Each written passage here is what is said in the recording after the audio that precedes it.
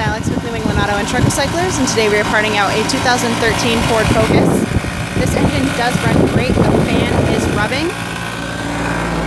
Has a low mileage of 62,000. Five-speed manual transmission. The oil is clean. Driver's side fender is triple zero insurance quality. Good left front knee. Front and rear door quarter panel, all insurance quality as well. This does have some good steel wheels, complete rear suspension. Both taillights are in great shape. B-grade, complete rear bumper.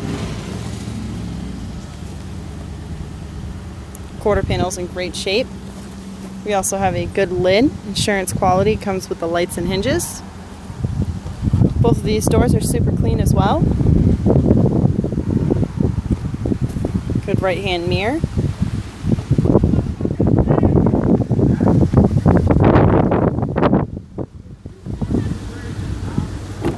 Inside we have a black cloth interior, manual seats, column with slippers and delay.